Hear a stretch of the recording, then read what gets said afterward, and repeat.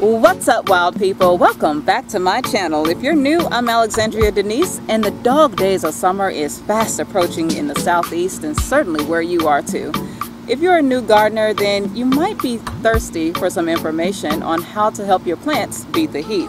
Well, keep your cool because we're about to dip into a pool of knowledge on the best times to water your garden. Let's dive in. Cause we about to dive in. Please come to my concert. I'm selling tickets later. this is why I'm on YouTube. Obviously, water is an important element, but not just to living things. It helps erode rocks, breaking them down into smaller particles that can eventually become soil, acts as a vessel of transportation, and aid in Earth's temperature regulation. Yet, we know it best for cooking and hydration purposes. Plants are no different. First, it helps to understand how plants actually use water. You may have heard that many living organisms are made up of a percentage of it. Approximately 95% of a plant's tissues is made up of water. In specific, their cells are structured differently than animal cells. There are a few similarities, but the highlights of this topic are the vacuoles and chloroplast. Plants absorb water and minerals from the soil through tiny hairs on their roots in a process called osmosis, which is the transfer of water from an area of high concentration to low. From there, it moves up the xylem and distributed to needed parts of the plant. Vacuoles are predominantly found in plant cells and are scattered throughout, varying in shapes and sizes. They are storage sacs filled with water or sometimes the plant's toxic metabolic byproducts. Vacuoles help maintain the osmotic pressure in plant cells through turgidity and rigidity, and it's these fluid-filled sacs that act as bones, giving the plant structure while also allowing it to be flexible. If plants are underwatered, they don't receive the required amount to maintain the fluid in these sacs, so they start to wilt. As a reverse to this, overwatering can fill soil pores in the ground, blocking the flow of oxygen and suffocate the roots. It prevents the osmosis process, jamming the root hairs, leading to a decline in the plant's health, even encourage diseases. The right amount of watering paired with well-draining soil helps maintain the fluidity of the vacuoles. In addition to pressure regulation within the plant cell, water helps aid in photosynthesis. You may have heard of this as the process in which plants make sugar or glucose for food, but diving a bit deeper as to how, it takes place in the chloroplast. From there, chlorophyll is responsible for capturing the sun's light rays, then carbon dioxide is taken in through the plant's stomata, combined with the hydrogen bond stripped from water, allows plants to make glucose to fuel their growth. The oxygen bond in H2O isn't needed, so it's released as waste back into the air for us to breathe. So, we breathe in oxygen, released by plants during photosynthesis, and breathe out carbon dioxide to be taken in by plants to be used for it. Nature truly is a give and take system. But when is the best time plants perform photosynthesis? Plants mainly perform photosynthesis during the time of day that light is the greatest, usually during the hottest parts. This is when the plant's stomata, or leaf pores, are fully open, absorbing needed carbon dioxide for the process. Less than 2% of water absorbed is actually used during photosynthesis. The rest is used to maintain the plant structure or is lost through a process called transpiration.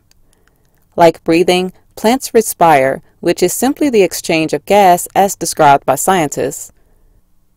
Transpiration is the constant transfer of water from the soil to the evaporation of water through the plant's leaves, flowers, even stems.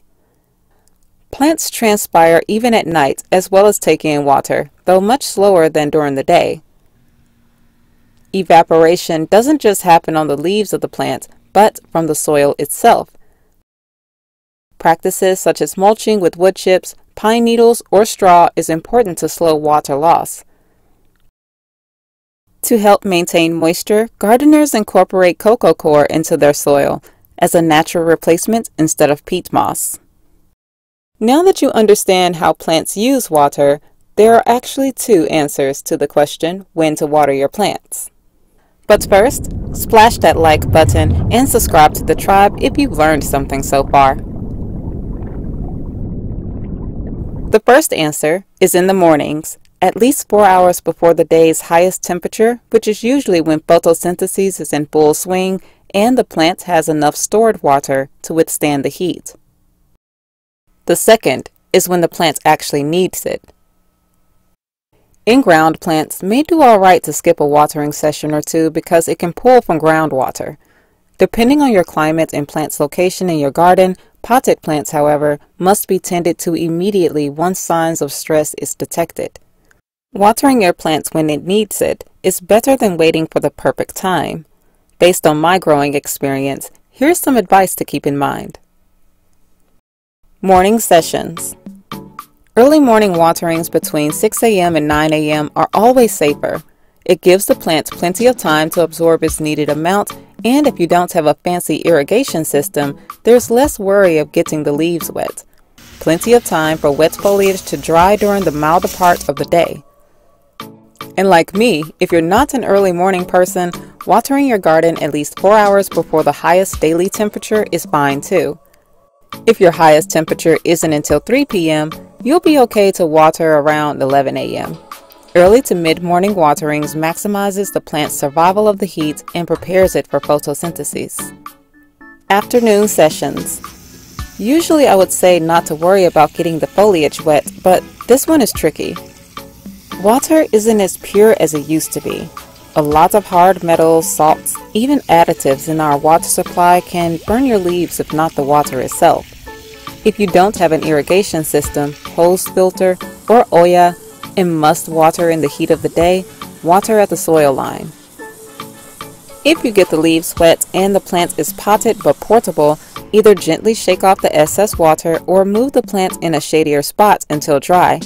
Not all plants have a strong protective cuticle that repels water from its leaves like this Meyer lemon tree, so a little help is needed here. Moving it in shade gives it time to recover from the heat stress anyway. Evening and night sessions. I get it. Some days we hit the ground running and put our plants on the back burner.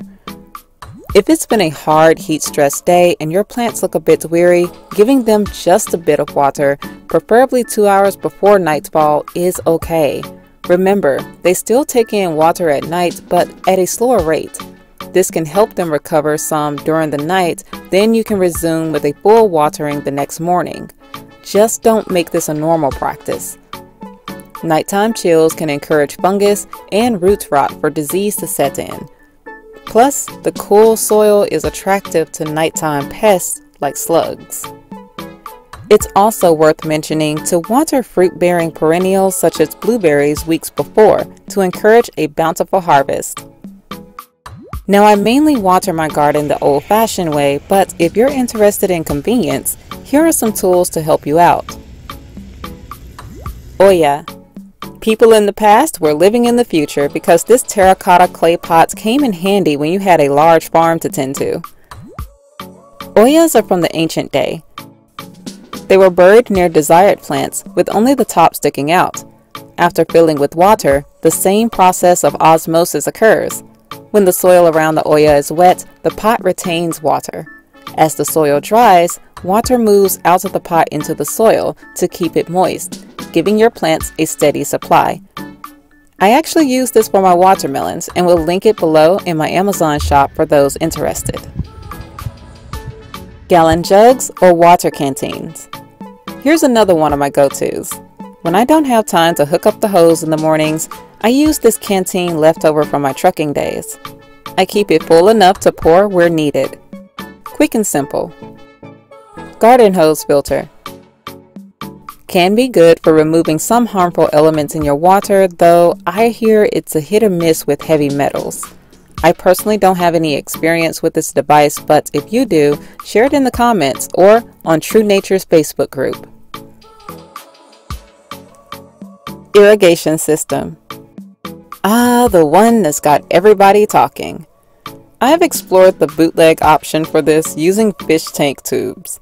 I wasn't successful, but it definitely ranges from DIYs to expensive models. The tubes are placed a little below the soil or right on top to water plants. Some can operate off the osmosis process, others manually controlled valves or timers.